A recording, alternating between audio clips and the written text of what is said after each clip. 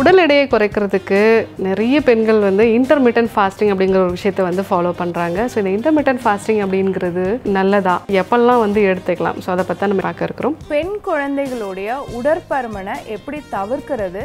எப்படி வந்து அவங்கள வந்து ஈஸியாக வந்து நம்மளால சீர்படுத்த முடியும்? அப்படிங்கிறத பற்றி தான் நம்ம பார்க்க போகிறோம் இனியவை இன்றில் நாளை காலை ஒன்பது மணிக்கு நமது புதியுகத்தில்.